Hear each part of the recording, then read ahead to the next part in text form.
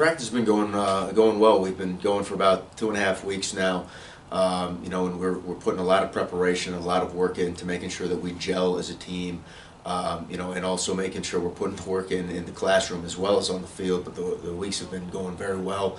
Guys are excited, and we're very excited to get the, the season going. Uh, but we're still working on preparation at this point right now, and just getting ready for our first game. I mean, we're coming out here. We're have chemistry. We look way better than before. We're getting better each day that we're out here, and we've just accomplished so much. This just through the fall and these few weeks of practice. I think we're off to a good start you know, for uh, for starting a program uh, in our conference, it doesn't happen overnight and, not without some challenges. So the first one was so important.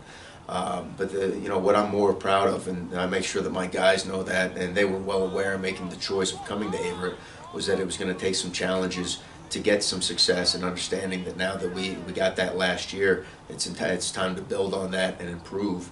And you know, I think that's uh, just such a great moniker that these guys get to have for the rest of their, their lives. Is that you know they were instrumental in building the program. Well, this year I feel like I've been I've been really working on trying to be more versatile for my team, doing whatever my team needs. If I need to jump into a different position than what I already play, I feel like I'm, I've been working well to uh, do that.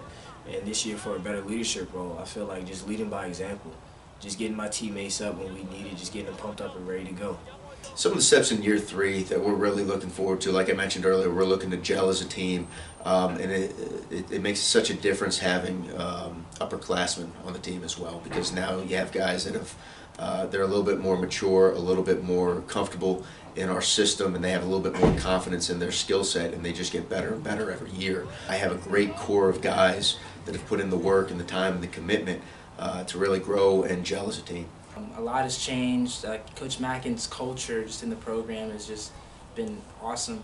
Um, he's the one that keep keeps our head up, and uh, if we just keep moving forward, and uh, me becoming a leader on the field, telling guys, hey, um, we're gonna we could do this, man. This is a new year, a new us. As a team, I feel like a good goal for us would be trying to take the momentum from what we do and learn from our mistakes and start start fast early. That was one of our big keys last year. We got to start fast early.